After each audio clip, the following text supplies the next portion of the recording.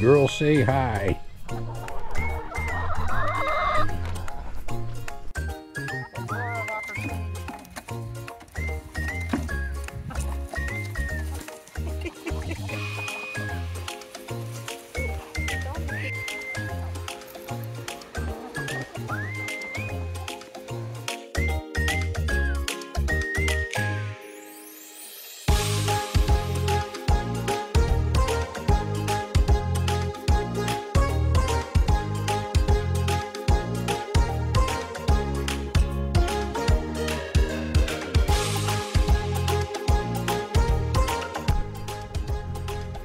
Is Aggie.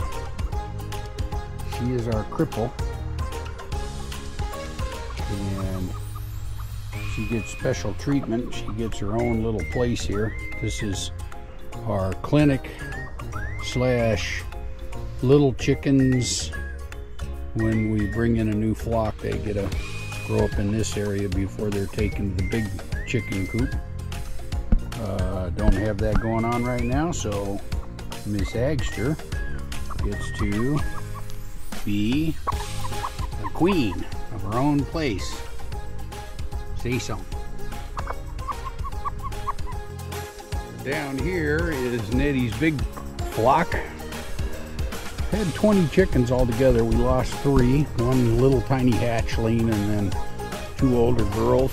So Nettie's entire flock is 17, 16 of them right here. The 17th one is Aggie, who I've already introduced.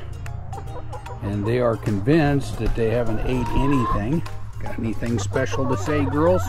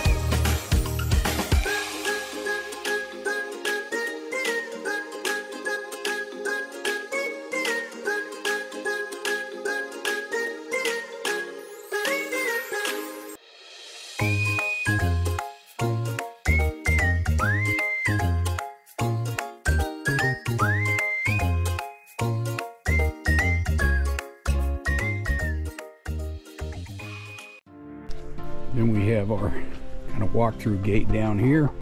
I'm going to put in a couple more like that at the far end. And uh, yeah, the coop. Anybody seen the uh, Taj Macoop video that I had has seen this. We've done a few modifications to it.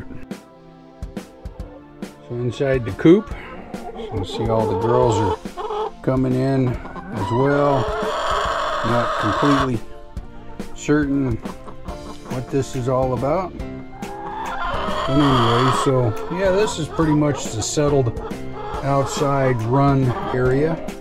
As you can see, it's covered, so when it's raining, they can stay relatively dry, but they've still got their in and out on both sides. So that's kind of cool.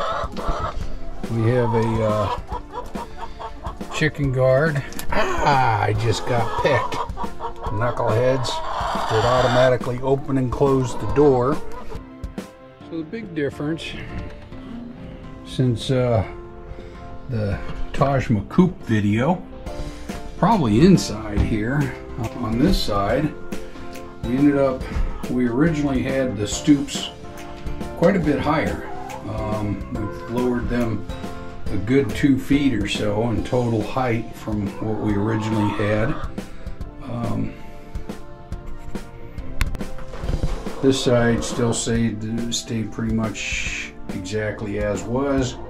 They use them. We did ended up getting these boards here, right here, a couple of them, them and those those actually go right in front of the uh, the roosts uh, in the evening time we'll put the boards in there uh, that way the girls um, can't stay in there during the night, so we close those off so they can't get in there. And um, because they get in there and they just make a mess and poop all over the place. So, anyways, looks like Lily's gonna go in and introduce how this whole thing works. Yeah, that works really well. Yeah, easy in and out. Yes. Anything else you'd like to tell the camera? Oh, I see. So you can come down and you can paint, You can pick. You don't have to take the middle one. Okay.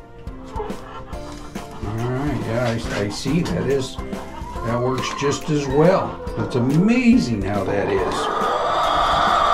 Thank you very much for that demonstration on how that works.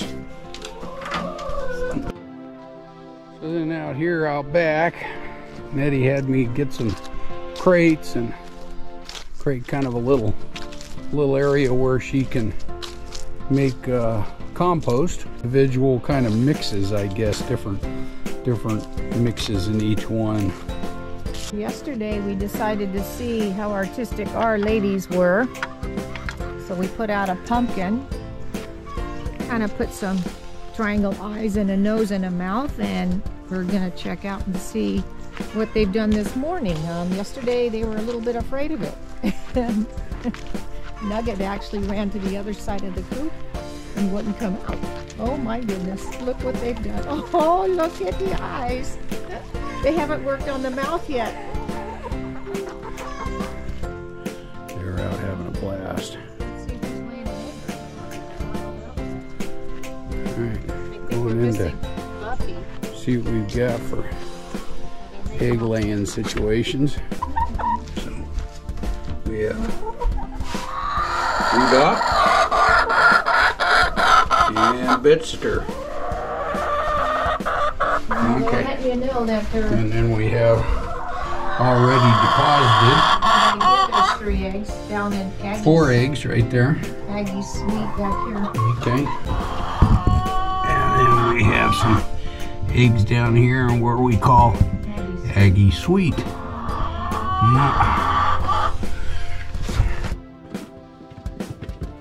They come in, they know where the food comes from. Black fly larva. Yes. It's the yummiest. Oh yeah. Sustainable. Dolly, Dolly, here.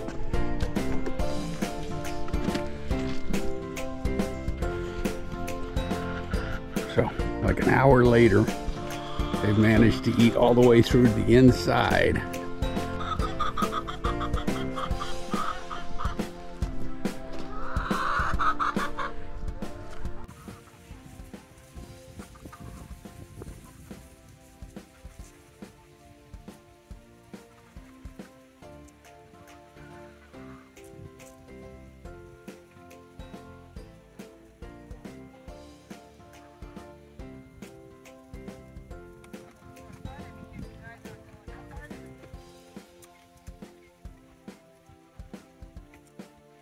Meanwhile, the poor dolly is overworked.